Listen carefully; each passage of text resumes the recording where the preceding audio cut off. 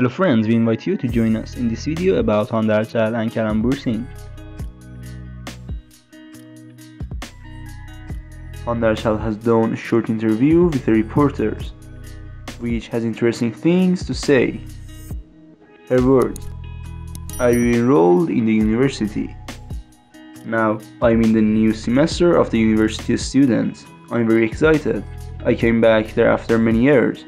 My heart couldn't stop. It was very valuable for me. I wanted to finish it.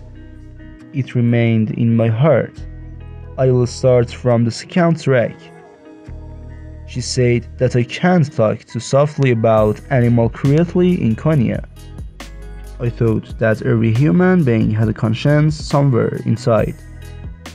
I am shocked when I meet people with no conscience. If you like this video, like the video and we have a playlist about Hande Ercel and Kerem Bursin and his life on the channel. You can also watch the videos. Take care of yourself until another video.